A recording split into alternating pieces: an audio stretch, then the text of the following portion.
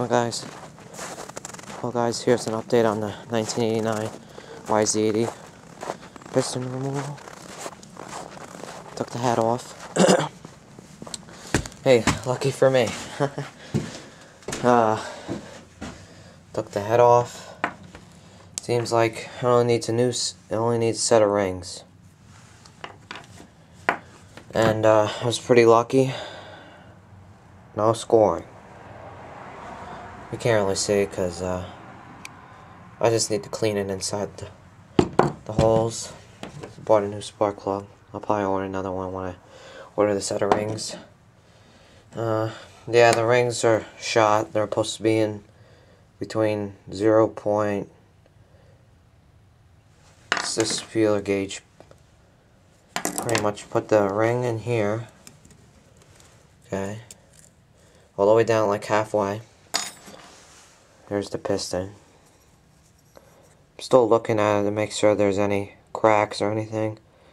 There's a little scoring, but if you put it down in here, it barely moves. Barely moves, so it possibly just needs set of rings. Here's the bearings. I might buy a new new one. Buy a new one of that. Uh, here's the wrist pin. Um,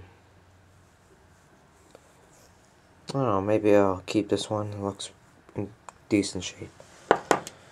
And uh, I'm going to buy a new clips. So I'll probably lose this one. If I'm lucky enough. Here's... I put a cloth around it so nothing gets into the crank.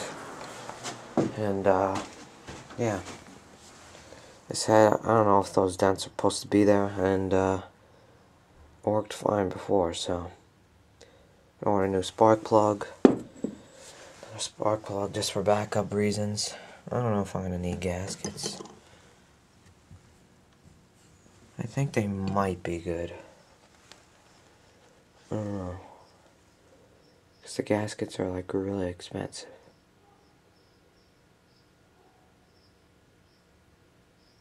So,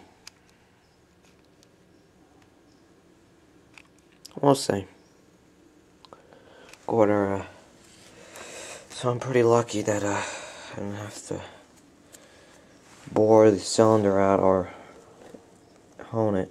it looks pretty decent. Still got the pins and everything.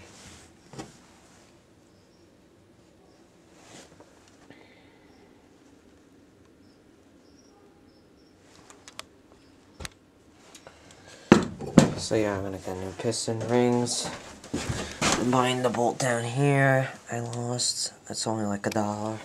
So that won't really kill me. Uh, yeah. So there's an update for you guys, and I'll show you when I'm or I got my parts and everything. So yeah, it looks like the crank is good. So it's all good. And I'll have another update, and uh, yeah, I cleaned up the piston. I had a bunch of carbon on there, but see everything, see the arrow, which direction it goes in.